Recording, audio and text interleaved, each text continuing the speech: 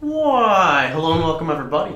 It is Pohx again, and as you can see, my laundry is overflowing, and I've got a sloth on my uh, on my lap. But that's beside the point. Today, I wanted to go ahead and tell you guys that I'm finally going to be trying out solo self-found in Path of Exile. Be it it may be only for a couple days, it may be for a week, it may be until beta comes out. I'm not exactly entirely sure, but I couldn't really think of what I wanted to play for solo self-found. And then on top of that, there's the whole, you know, I'm gonna restart my character again when beta comes, and then restart again after beta. Um, but I decided, fuck it. You know, I'm kind of bored. There's not really too many games to play. I had fun variety streaming for a little bit, and I'll still continue to do it. But I really wanted to get back to Path of Exile, and I wasn't sure what I wanted to play.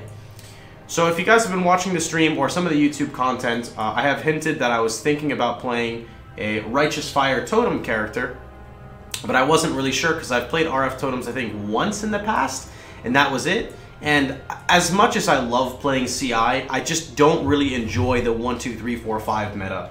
It just, it's just, I don't know, it kind of puts me off a little bit sometimes. Um, so I wanted to play a life-based character again. So here you guys have it. I have a uh, RF self, or well, I was going to say self-cast, but an RF totem build. It's going to be played as a chieftain, and I'm going to walk you through and explain to you guys why I kind of chose this as my character. Now, before I go into this, I don't read any guides on anything. I don't know the most optimal things for solo self-found. I feel that by reading that and, you know, following what other people did, it kind of ruins the whole fun and experience for myself. Um, so let me just jump into this completely unoptimized like a noob, because that's what I like to do. So we decided we are going to play Righteous Fire Totems purely because um, if I were to find a tabula rasa, for example, which I could farm, I could use a tabula rasa and clear pretty much like all maps up until tier 8. Uh, sorry, probably like up until even I could farm strands. But anyway, the reason why I say that is if you play a CI build, tabula rasa really hurts you because that's kind of where your primary, um, you know, links would go. Furthermore, um, because of the way Righteous Fire works, I have a little document here that I made for you guys. Uh, that's going to be really shit, but it's 2017, so everything's got to be fancy, right? So we're going to be using RF, Spell Totem, Inc AoE, Rapid Decay, Burn Damage, Ele Focus. Now, I know you're going to say, excuse me, Mr. Pohx Kappa, how are you going to get a 6-link if it's not a Tabula Rasa in Solo Self-Found?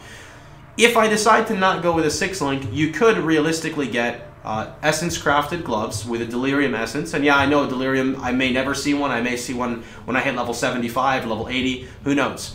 But if I were to realistically get a Delirium Essence, um, which is the, the uh, essence we used with Righteous Fire, which is the uh, socketed gems in your gloves deal 30% more damage over time, I could realistically remove Rapid Decay.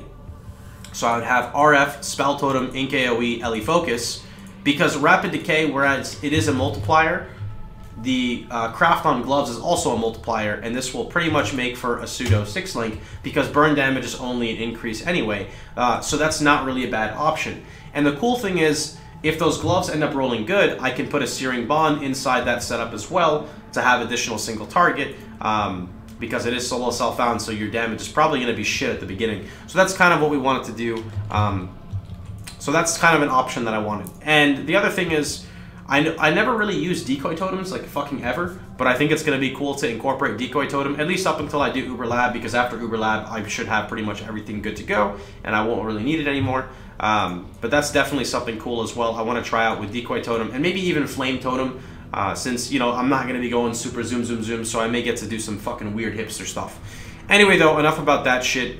We ended up playing the Chieftain, and on this new recording program, I can't really show you the notes, so I'm going to read everything out loud for you. So basically, uh, Arahuna Gamamami's uh, Moon Presence is enemies near your totems deal 8% less damage, and enemies near your totems take 16% increased physical and fire, so this is a multiplier. Note that this is also 10% placement speed, and this is placement speed as well. And then we have Tukohama's War Herald, which is totems have 50% of your armor, um, skills used by totems have a 20% chance to taunt on hit, which should not actually work for Righteous Fire totems. Uh, skills, or sorry, totems reflect 8% of their maximum life as fire damage nearby enemies hit. And your totems are immune to fire damage. I actually don't know if I'm going to get this node. I know that the whole immune to fire damage is super good, but Actually, I don't really think there's anything else for me to get, so I guess I kind of do have to get this. But this would work out with Flame Totem. Flame Totem would basically turn into a Taunting Totem. It kind of sucks I can't use Searing Bond and Righteous Fire Totems to taunt, but maybe if I can for some unknown bug or reason, that would be fucking badass too.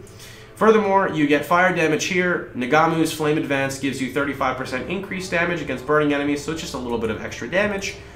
And then Ramako's Sunlight makes it so that I have a 20% chance that when my totems kill, wait, when you or your totems kill a burning enemy, you have a 20% chance um, for you and your totems to gain endurance charge. So that's pretty much endurance charge generation, and then I would just use enduring cry on single target. And I'll probably do this, and then Uber Lab would be this, or I'll do this, and Uber Lab would be this. So I'll worry about that later.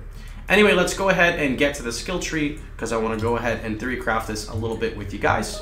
So I'm going to just wipe this and make it clean. So we would start off by going into life and armor. I don't really think there's much to do. And of course, this is theory. I just theory crafted this recently, so I could potentially change everything on here realistically. We're going to go totem damage, uh, totem life, totem resistance, uh, totemic mastery, and I might put a point here because this is totem damage and um, basically spells cast by totems have increased cast speed. I think that'll make your Righteous Fire cast faster. I could totally be wrong. Either way, it's 10% totem damage, so it's not really going to hurt me. Um, if I end up getting a, I think it's called the Spire of Stone Jewel, the Spire of Stone would go right here. So we're going to go ahead and pick up the full life wheel. I'm not picking up Totemic Zeal. If I need to get it later, I will, but I do get placement speed from playing Chieftain, which is pretty nice. Uh, I'm going to move up into here, grab Sanctity, probably come around through here through Elementalist for the damage, and All Res is always nice. Potentially pick up Amplify. Um, I don't know if it's properly going to scale the AoE. If it doesn't because of how RF's rounding is, I'll just remove it. We'll go across over here. I can come down and pick up Arsonist for fire damage and life regen. This is still optional. I don't know if I'm going to get it or not. We're going to move down. Well, actually, technically, we would first move up into here. Now, this is not the exact order that I'm building in. I'm just kind of showing you guys a little bit of what the tree is going to be like. Because since it's solo self-found, I don't know exactly where all of my points are going to go. I don't know what my immediate priority is. Honestly, probably getting Ancestral Bond is like number one priority. And this one also gives cast speed, so hopefully the cast speed is going to help the RF trigger quicker. Let's grab Holy Fire. Now, I hopefully am not going to need Elemental Overload for quite a while because Elemental Overload is just really annoying to use. So I'm going to get that last and we'll move down. Note that we'll pick up our endurance charges around when we have Ramako's Sunlight to actually start properly generating them.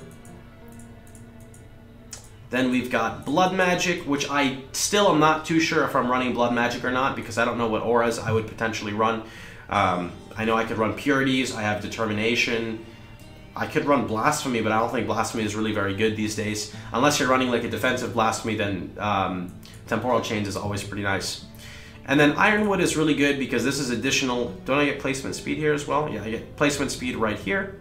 This is Totem Life and All Res actually, so we would do that. And then you've got Bloodless over here. And the ending of the tree, I'm pretty sure all it really does is it comes across through here, grabs Shamanistic Fury with a Jewel Socket, uh, Elemental Overload, and there may be a couple more points here and there that I bump in, like the Endurance charges. I'm also thinking of going Dual Curse, um, and I would probably use Curse on hit. Oh, I completely forgot, actually. I need Elemental Equilibrium, so this is kind of like super priority. So I'm guessing I would use something like I don't know, Curse on Hit, Ball Lightning is probably what I would do. Maybe not Ball Lightning, maybe, I don't know, Freeze Pulse. I honestly am not 100% sure exactly what I'm going to use, but I do have to uh, uh, incorporate some type of Curse on Hit. Um, hopefully that Curse on Hit is also going to have a high crit chance for Elemental Overload, and then for Elemental Equilibrium. So if you guys have any suggestions for people who, you know, use Curse on Hit every so often, feel free to drop them down below, because this is something I need to figure out. Although, thankfully, I don't have to worry about this right away, so that's definitely good. Um, but yeah, that's pretty much about it. There's also a couple uniques that I'm definitely going to aim towards, which I'm probably never going to get, but I can go ahead and throw down a list for you guys. Uh, Kaom's Heart would be really cool.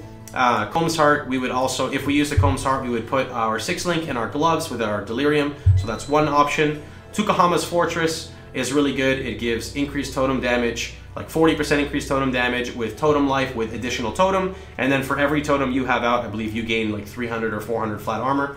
And then Doon Cuebiyari is also really good because we're most likely going to be scaling strength as we're pretty much on the left side of the tree. And that'll pretty much give us a decent increase with the 70 strength adding to flat life. Anyway, that's pretty much about it. Oh yeah, also, I'm definitely grabbing Indomitable for uh, reduced extra damage from critical strikes because that'll help me against spell damage. Spell crits, specifically. And for Uber Lab. that's pretty much about it. Hope you guys had a wonderful time. Hope you guys enjoyed yourselves. And maybe you guys can follow along as well and kind of see what I'm doing. Uh, I hopefully should be on stream in maybe like six hours or so. It'll most likely be like a night stream. But I'm out, like I said. Hope you guys had a wonderful time, and I'll see you boys all tomorrow. Take care, everybody.